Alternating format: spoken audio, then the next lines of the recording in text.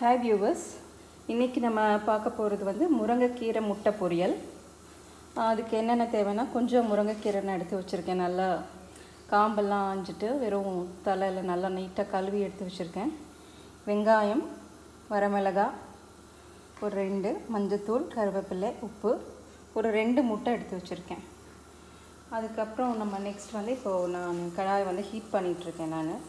அது கொஞ்சம் சூடானோடனே எண்ணெய் ஆட் பண்ணிவிட்டு மீதி இன்க்ரீடியன்ஸ்லாம் நம்ம ஆட் பண்ணலாம். கடாய் ஹீட் ஆகிடுச்சு நான் கொஞ்சம் எண்ணெய் ஆட் பண்ணுறேன்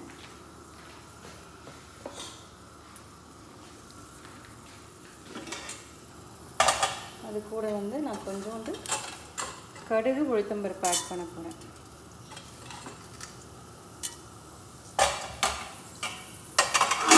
இப்போ நான் வந்து வெங்காயம் மிளகாய் கருவேப்பிலை எல்லாத்தையுமே ஆட் பண்ண போகிறேன் நல்லா வதக்கி விடுங்க.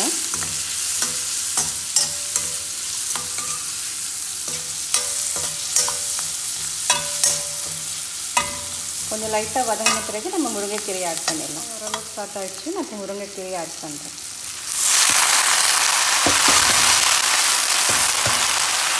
பாருங்கள் ஓரளவுக்கு போட்ட உடனே ஒரு ரெண்டு மூணு நிமிஷத்துலேயே வந்து ஒரு மாதிரி சிங்க் ஆக ஆரம்பிச்சிருச்சு இலை எல்லாமே இப்போ நம்ம என்ன பண்ண போகிறோம்னா தண்ணி எதுவுமே ஆட் பண்ண வேண்டாம். இப்போ நம்ம இதை வந்து மூடி போட்டு நம்ம ஒரு ஃபைவ் மினிட்ஸ்க்கு குக் பண்ணி பார்க்கலாம்.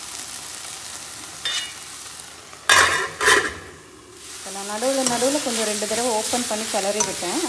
இல்லைன்னா தீஞ்சிரும் தீஞ்சிராமல் பார்த்துக்கோங்க. மீடியம்லேயே வச்சுட்டு பண்ணுங்கள்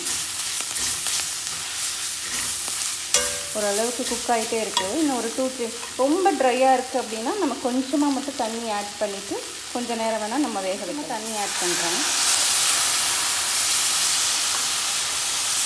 இந்த முருங்கைக்கீரை வந்து ஒழுங்காக குக் ஆகலைன்னா சில பேருக்கு வந்து டைரியா அந்த மாதிரி ஏதாவது ஆகலாம். ஸோ அதனால் நல்லாவே குக் பண்ணிக்கோங்க.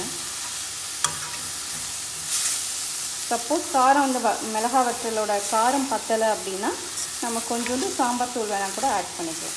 ஓப்பன் பண்ணி பார்க்கலாம். ஓப்பன் பண்ணியாச்சு. நான் மூடி வச்சு தான் அவ்வளோ நேரம் குக் பண்ணியிருந்தேன். ஓரளவுக்கு நல்லா தண்ணி எல்லாம் வத்திருச்சு நல்லா வெந்துருச்சு. இப்போ என்ன பண்ண போகிறோம் அப்படின்னா நம்ம ரெண்டு முட்டை வந்து எடுத்து வச்சுருக்கேன். இதை வந்து இதில் ஆட் பண்ண போகிறோம்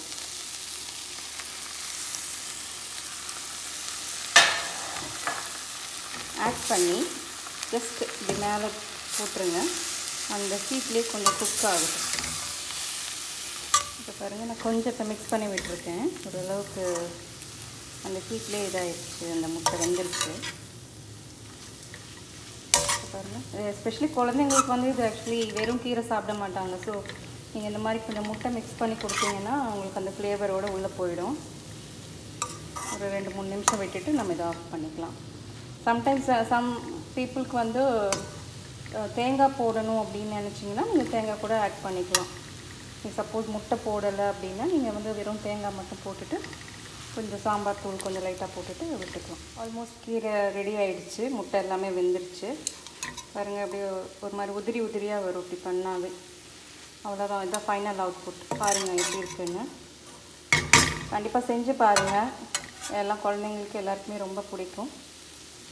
செஞ்சு பார்த்துட்டு கமெண்ட்ஸ் எப்படி இருக்குது அப்படின்னு போடுங்க. Thank you so much